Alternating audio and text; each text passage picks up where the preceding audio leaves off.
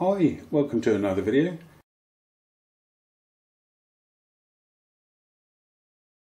Today I'm going to show you how to get an Epson S1D 13517 display controller to drive a display.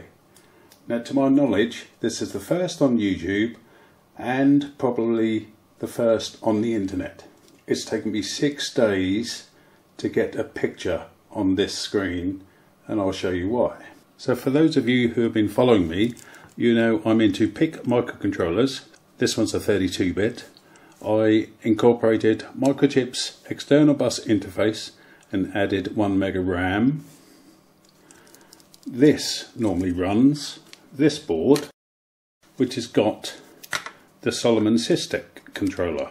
This can control like a 5 7 inch screen or bigger but it's a bit slow and it hasn't got any fancy gimmicks. This Epson controller, you can add two images. I haven't got that far yet, so don't get excited. You can add two images and blend one with the other. They call it alpha blending. You make the top image slightly transparent so you can see the background. That's called alpha blending. I designed this four layer board over a year ago have the PIC microcontroller, which I've taken off is now here, just an ECM 200 megs. The Epson S1D controller there, 128 megabit SD RAM, which is 16 megabytes. So from 800 by 480 screen, you could get over 16 pictures in the memory. And this clever Epson controller has actually got 16 buffers. I'll run through some of the code briefly. I'll show you the area that fooled me and it cost me six whole days to get a picture on this display. This is a test pattern that just a simple code this Epson controller will display. I was happy when I first saw this. When I saw this pattern it meant I've got 128 pins of the Epson chip in the right place. So this is just an introduction how to get it going. Let me reprogram this and show you the picture. There you are, picture of Paris. Now for a day or so I could get this picture but in the wrong colours. The reds were white and the dark background was blue. I tried over 101 permutations and could not get this colour right.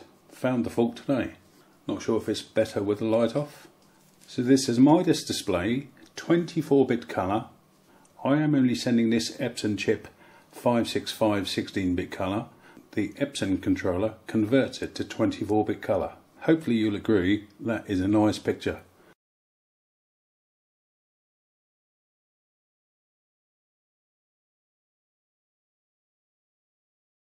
Just before I show you the code on screen and some of the datasheet, this is what I struggle with for over five days. Today is the sixth day and I found the fault today when writing 768,000 bytes, I could only get half a screen. If you're familiar with RGB, the first 5 bits are red, the middle 6 bits are green, the last 5 bits are blue. I'm writing 5 bits of red and I've got green. Let me show you why. So first and foremost, how do you wire it up? Put a copy of this PDF file in a link in the show more. So this is a look at some of the Epson chip wiring. All these connections here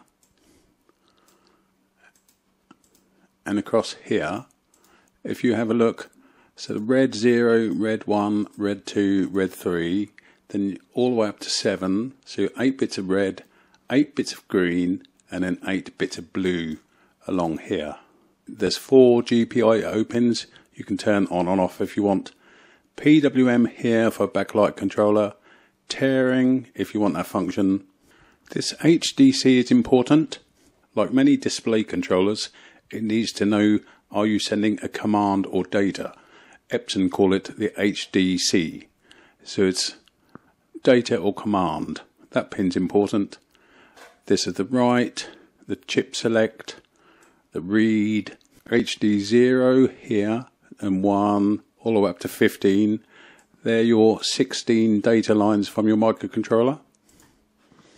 If I rotate this picture, Test 0 and Test 1 you wire to ground.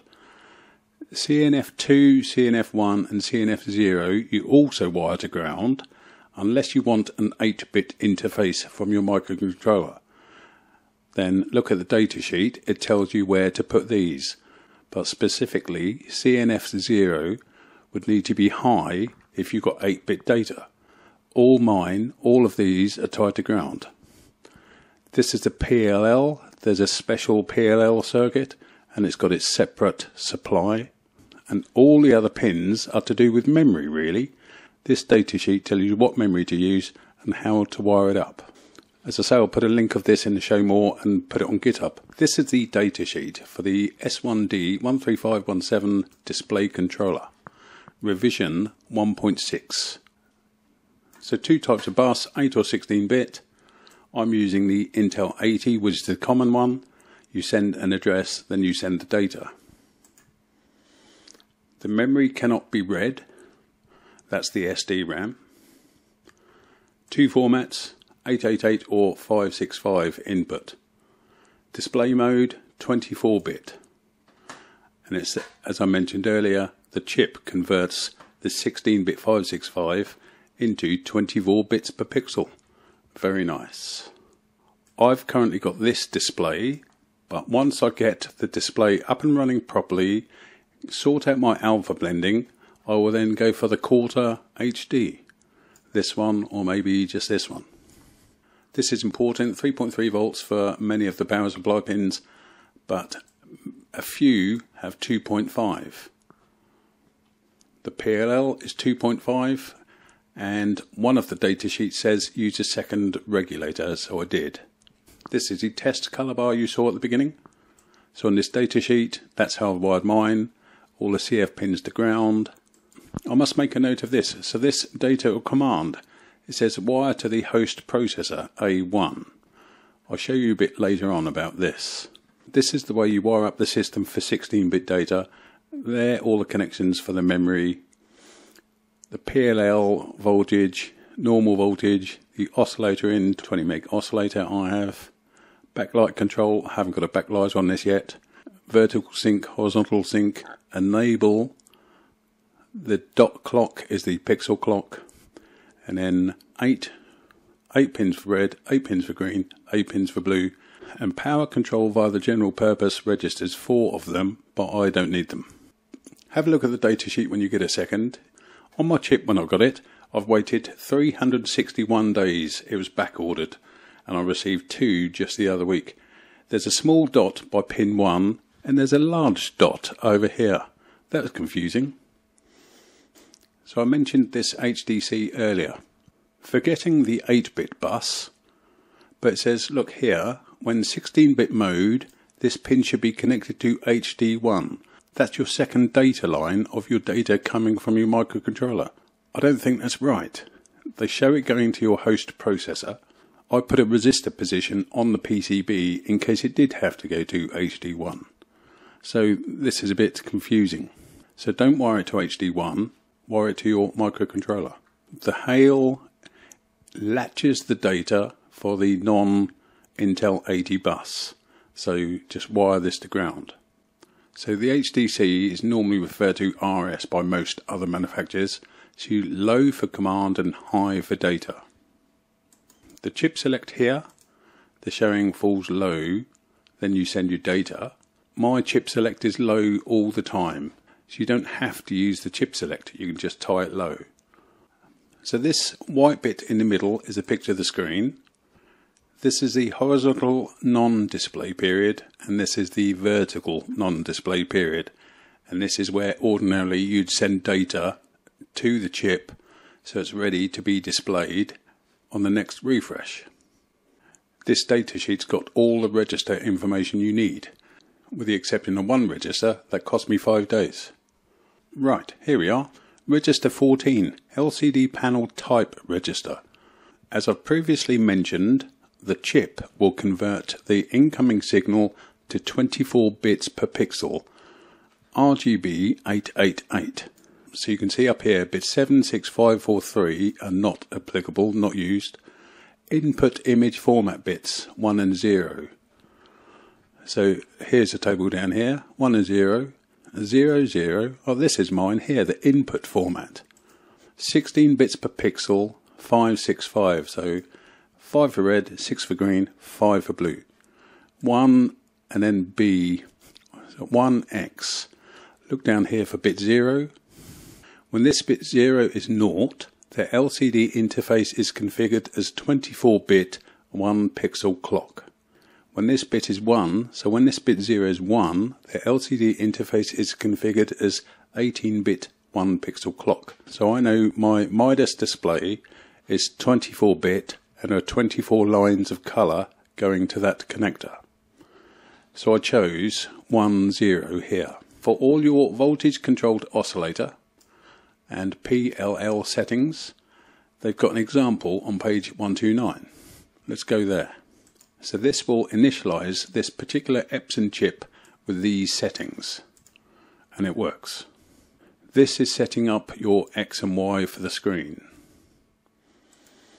So there's all your settings. Right, display initialization sequence. Initialize the SD RAM, set the display mode, set the image window, do a burst of data, enable the LCD, and show the image. Right, so here's the basic settings. Initialize the SD RAM. Change the display mode if you want to. Just carry on going, follow this example. Copy all these commands. This is the display again, saying we want the X and Y to start at the beginning. And that's it, it should work. Except look down here, write image data, reg 66 and 67. Hello, what's this? Whilst I'm looking for the correct timing diagram to show you that 66 and 67, here's an example of the alpha blending. There's a little chick, there's an egg, blend the two, you see the chicken and the egg. That's alpha blending. This Epson chip does it. The Solomon Systech, or at least the ones I have, don't. They're not this clever. Here's the 16-bit 565 input timing. So chip select low, mine's always low, HD command, is it data or command? You can see it's high for data. So it clocks the data on every positive going clock pulse of your write. And you can see here, red 4, 3, 2, 1, 0, that's 5 bits, 6 bits of green, and 5 bits of blue.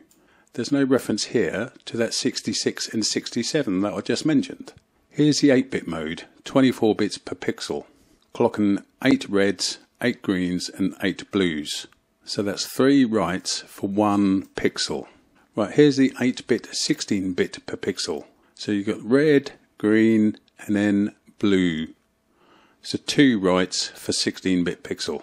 But again, there's no mention here of that register 66 and 67. If I turn to my C file, hopefully you'll understand a bit better. So here's my code to set the window of where I want the picture to start. 5A, then the data is 5B, the next command would be 5C, but the register auto increments, so I've commented this out. 5C, the data is 5D, next command's 5E, 5F, 60, 61, the data is 61, next command 62. The data for 62 is 63. Then the next command be 64, but it's auto incrementing, so you don't have to put it in. 65, and that means the next bit of data is going to be 66. So I've got a note here so you don't have to find it. The next register written to is 66 because it auto increments. 66 is the least significant byte of the data, and then 67 is the most significant byte of the data. I was putting a 66 and then one color, then 67 and another, but it's all very confusing with this 66 and 67. The datasheet does tell you when you've finished setting up your display, it's ready to accept the data. So you just saw green on the screen, yet these first five bits are red. Five for red, then six for green, then five for blue. yet this gave me a green. And with 768,000 bytes being written, I was only getting half a screen. And that's what took me six days.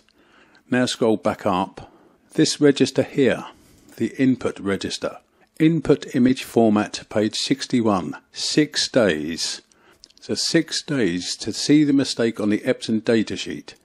And I found that fault 1634 on the 17th of the 11th, 2022. That's today. I started programming this chip on the 11th of November at 18.30 in the evening. So I found the fault on the sixth day. Now go back to the datasheet. Hopefully you're following me. So 61. At least I've found the fault and you won't be in the same boat. My C file will work and I've taken out all the questions that the datasheets leave you with. If you've got 16-bit data, follow my example. If you haven't, then don't follow my example. Watch out for the bits I highlighted earlier. This 14H, input image format bits, bits 1 and 0. Here we are, bits 1 and 0. 16 bits per pixel, 565. Yet I'm only getting half a screen of green and it should be a full screen of red. Oh hello, Input image format bits 1 and 0. But look where they are in this register. They're not 1 and 0, they're 2 and 1. And then a bit 0 for this panel data down here, whether you've got 24 bit or 18 bit. I've got 24 bit, so that's always been a 0. This has been a 1 for 5 days. The 1 should go here, bit 2. So bit 2 should be a 1 and that should be a 0, not 1 and 0, 2 and 1. So back to my C file and I commented out the proper code. I had been using this for five days. You saw on the datasheet 1, 0. The correct register setting is bit 2, 1, 0. So 1 should go in position 2. So it's not that it's that. I couldn't believe the quality of the picture once this one was in the right place. If you do not find this misleading, then you're a better man than I am. But it's only since I've now pointed this out you're now going to look. So thank you, Epson. You just cost me five days. So that's it. One of the traps I fell into and it cost me over five days. I found no other helpful sites on the internet for this chip and example source code. I'm going to make this all available and I'll put it on GitHub all for nothing. If you want to donate a coffee for the five or six days it's taken me to suss out those glitches on the datasheet, the link is in the show more. As I say, I'll put a copy of the C file on GitHub. I'll put a copy of the user manual and the datasheet on GitHub and put a link in the show more. So I've done all the donkey work. That's how you get it going. I've yet to sort out the alpha blending, see how many days that takes me. I look forward to getting some of the fancy features of this Epson chip going. I had been thinking I could get my own memory, stick another memory chip on this microcontroller, stick another memory chip on and get the alpha blending myself. The bus for this SD RAM runs at 50 megs. This on my board designed for the Epson controller, runs at 90 megs. I'll unplug this, plug it back in, see how quickly this picture comes up. Ready, steady, go. If you want a quality display, look at the Midas displays. If you want a fast and fancy graphics controller, have a look at the Epson chips. Hopefully you found this helpful. Thanks for watching.